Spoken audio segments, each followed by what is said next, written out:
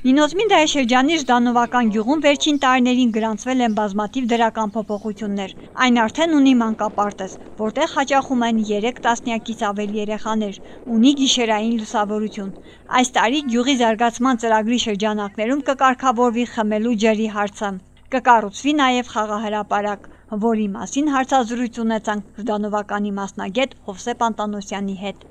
Ունենք համարյա 100%-ով լուսավորությունը, մանկապարտեզը ունենք, հացի տունը ունենք, որոշ թերություններով հետոն կընթացքի ժամանակ ընթացքում է լուծվեն, մյուսն էլ խաղահարաբարակն էլ, խաղահարաբարակն էլ այստեղ սարկվի շատ սիրուն, մի հատ խաղահարաբարակ կեղնի զաբորներով փակած կեղնի, Փարիզ կեղնի, փակած նոր այստեղ գազոններով, սկամեկիքսներով շատ սիրուն, մոտավոր 40 քանի հազար լարի փոխհատկացած դրա համար։